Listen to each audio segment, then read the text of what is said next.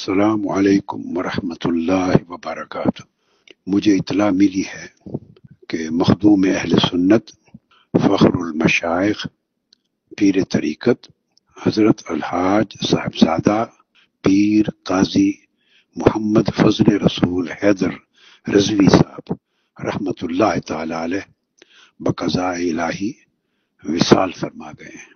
آپ حضرت محدث اعظم رحمۃ اللہ تعالی علیہ قدس سر العزیز کے جانشین اور سجادہ نشین تھے۔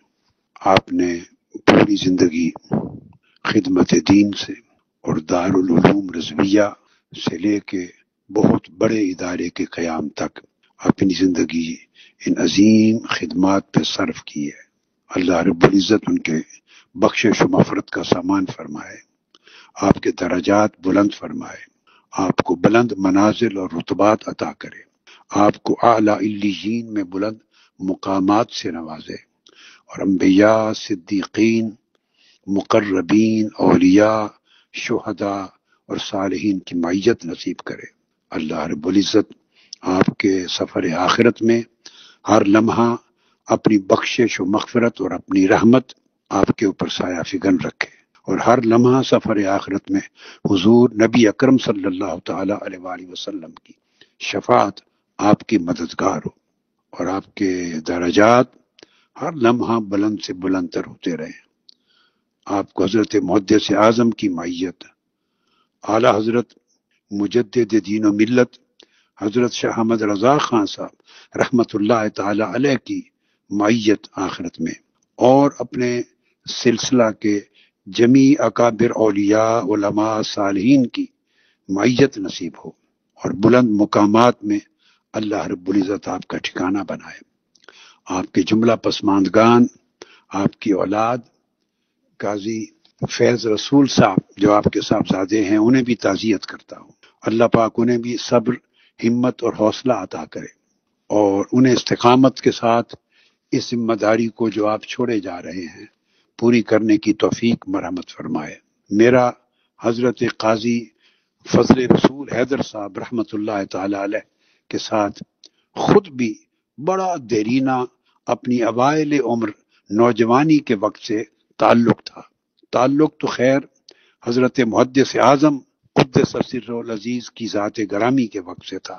جب میں اپنے والد گرامی فرید ملت حضرت قبلہ ڈاکٹر فرید الدین قادری رحمت اللہ تعالی علیہ کے ہمراہ سال ہا سال تک اپنی بالکل نوجوانی میں آپ کی ہمراہ حضرت محدث اعظم کی خدمت میں حاضر ہوتا تھا اور حضرت والد گرامی رحمۃ اللہ تعالی علیہ نے توضیع وسلوی تلوی سمیت بعض اعلیٰ درجے کی اور کتب مختلف فنون میں حضرت محدث اعظم رحمۃ اللہ علیہ تعالی سے دوبارہ پڑھی تھی۔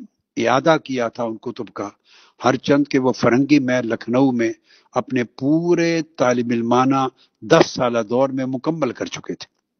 تو ان کو شوق تھا کہ اعلیٰ حضرت کی نسبت تلمز نصیب ہو اور وہ انہوں نے حضرت محدث اعظم رحمۃ اللہ تعالی علیہ کے ذریعے حاصل کی۔ تو کچھ کتب کا انتخاب کر کے آپ سے دوبارہ تبرکن پڑھی اور میں ان تمام کتب کے سما میں شریک ہوتا تھا۔ تو آپ کی صحبت نصیب ہوئی۔ اور حضرت قاضی محمد فضل رسول حیدر صاحب رحمۃ اللہ علیہ کی جب شادی ہوئی، تو اس شادی کی تقریب میں بھی میں حاضر تھا۔ نومری کا زمانہ تھا۔ حضرت محدث اعظم قدس سر العزیز کے ہمراہ آپ نے شفقت کر کے گود کے ساتھ بٹھایا تھا پیار سے۔ آپ کی شادی کی تقریب تھی۔ اس میں میں دو دن حاضر رہا۔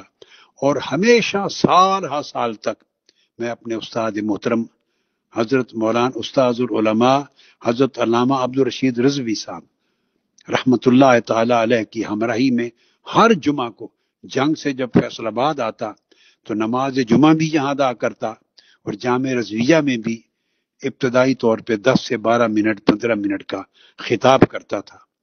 بعد ازاں حضرت استاد محترم مولانا عبد الرشید رضوی صاحب رحمۃ اللہ علیہ خطاب فرماتے تھے۔ بلکہ ان سے بھی قبل جب جانشین تھے، حضرت مولانا علامہ غلام رسول رضوی صاحب رحمۃ اللہ تعالی علیہ شیخ الحدیث تھے اور میرے بھی وہ اساتذہ میں سے تھے۔ تو ان کے خطاب کے زمانے میں بھی قبل پندرہ، دس، بارہ منٹ میں جمعہ کا خطاب ہمیشہ جامع رضویہ میں کرتا تھا۔ سو ہر جمعہ کو حضرت قاضی محمد فضل رسول حیدر صاحب کے ساتھ بھی ملاقات ہوتی۔ آپ کی مجلس میں بیٹھنا ہوتا، آپ بہت شفقت فرماتے، محبت فرماتے، بڑا پیار کرتے۔ یہ جانتے ہوئے کہ ہمارا دو نسلوں سے اس گھرانے کے ساتھ ایک قریبی تعلق ہے اور وہ ہمیشہ برقرار رہا۔ وہ محبت کا تعلق، وہ عقیدت کا تعلق، وہ باہمی ایک دوسرے سے ہمدردی اور بے خائی کا تعلق ہمیشہ برقرار رہا۔ میری دعا ہے اللہ رب العزت حضرت کالی، قاضی محمد فضل رسول حیدر صاحب کے درجات بلند فرمائے۔